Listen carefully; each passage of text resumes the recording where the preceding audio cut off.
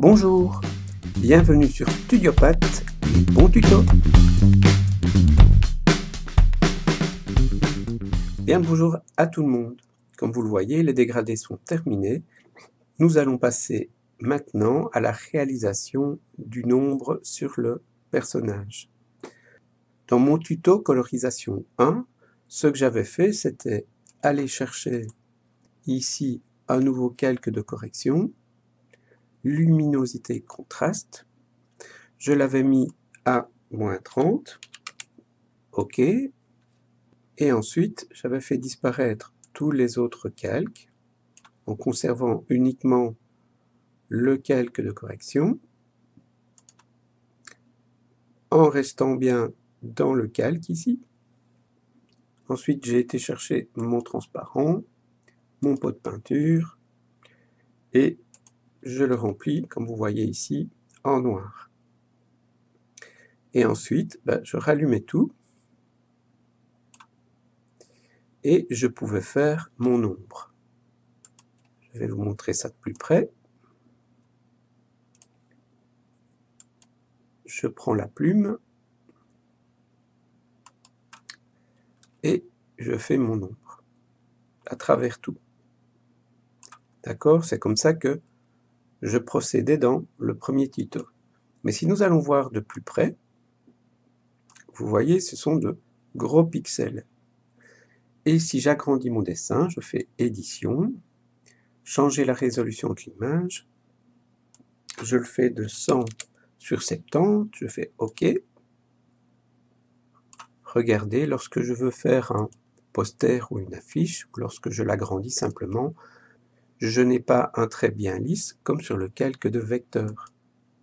Ça veut dire que mon calque de correction ici est un calque de pixels.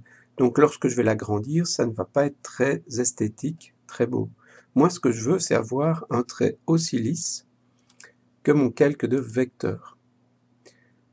Nous allons trouver une solution. Je vais mettre mon calque en vert, puisque maintenant je, je sais qu'il s'agit d'un calque de pixels. Et je le fais disparaître. Je vais revenir en arrière à une petite taille. Et bien sûr, comme je suis revenu en arrière, je vais afficher de nouveau que c'est un calque de pixels et je vais refaire le trait à côté pour que nous puissions comparer. Voilà. Je le fais disparaître pour l'instant. Pour faire une ombre sur tout mon personnage, je vais tout simplement créer un nouveau calque de vecteur qui est ici. Je le mets en dessous de mon trait et je vais le mettre en rouge pour bien comprendre que c'est un calque de vecteur. Je vais l'appeler ombre et ensuite je vais tout simplement aller chercher une sélection. Je vais mettre la mise à l'échelle de la zone à 2 une, pour pouvoir déborder sur le trait. Je vais tout près. Vous voyez, comme dans le tuto précédent, cela va permettre en fait à la couleur de se glisser sous le trait. Je vais sélectionner toutes les surfaces blanches du fond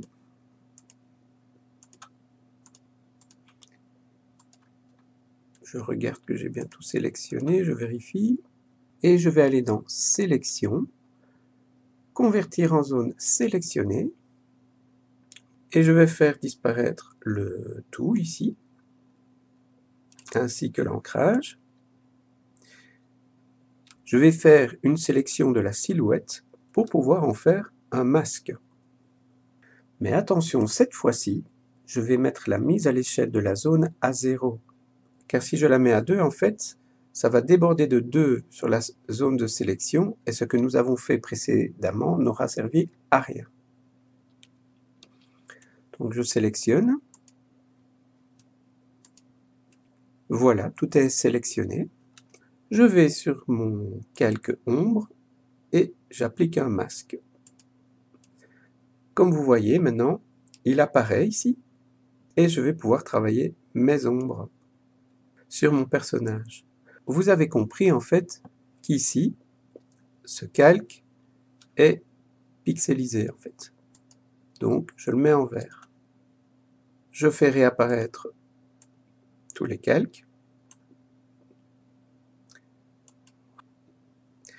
Je fais disparaître ma zone et je vais maintenant pouvoir faire une ombre avec un trait vectoriel.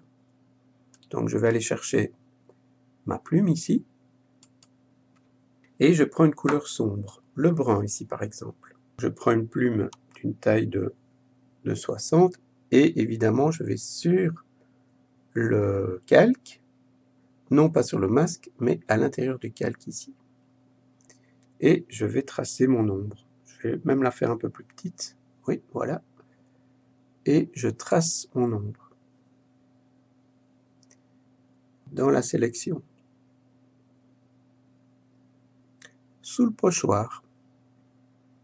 Voilà.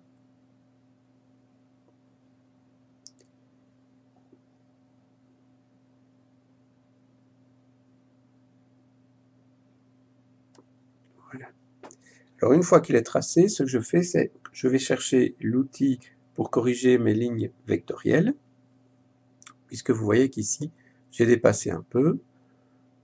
Je vais simplifier ma ligne que mon trait soit le plus propre possible.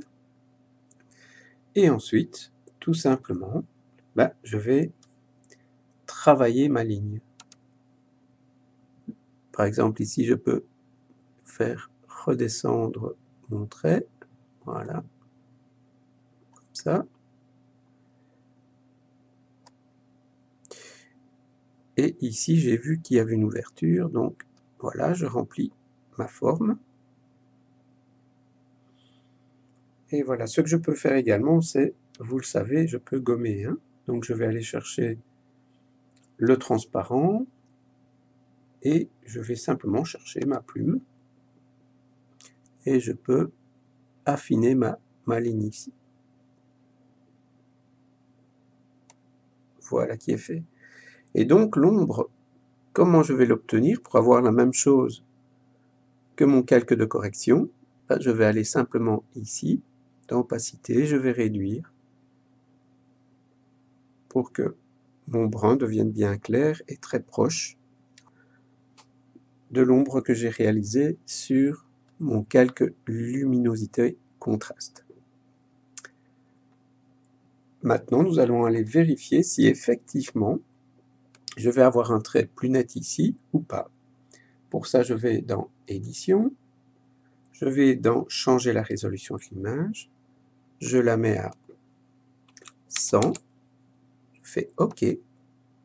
Regardez bien ici. mon trait est bien net sur ma surface d'aplat, puisque c'est un trait vectoriel, comparé au calque de correction où le trait était vraiment pixelisé.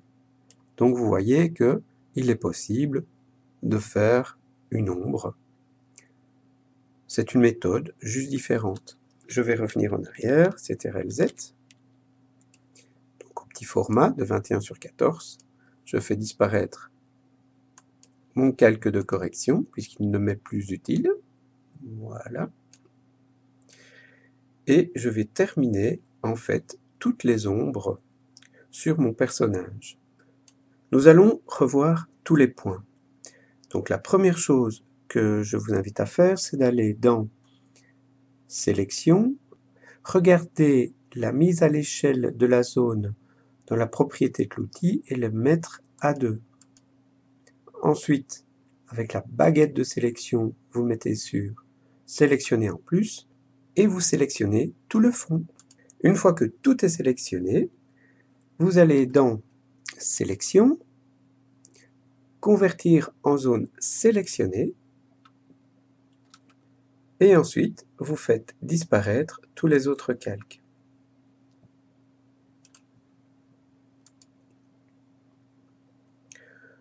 Vous retournez chercher votre baguette de sélection, vous retournez dans les propriétés de l'outil, dans la mise à l'échelle de la zone, et vous la remettez à 0.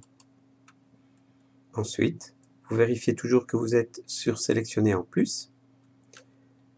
Vous sélectionnez tout l'intérieur ici de la silhouette. Vous créez un nouveau calque de vecteur et vous créez un masque dessus. Ainsi, vous avez le pochoir du personnage. Ensuite, vous allez sur le calque, ici, et vous faites tout réapparaître. Je vais faire disparaître la zone de sélection et je vais pouvoir aller chercher une plume, une couleur plus foncée comme le brun, et vous allez pouvoir travailler votre ombre.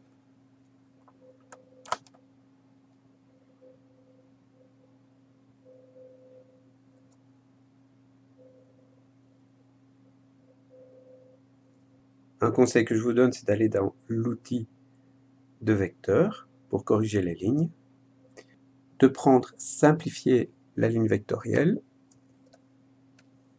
Ainsi, vous aurez un trait beaucoup plus net et ensuite de rectifier un peu votre ligne.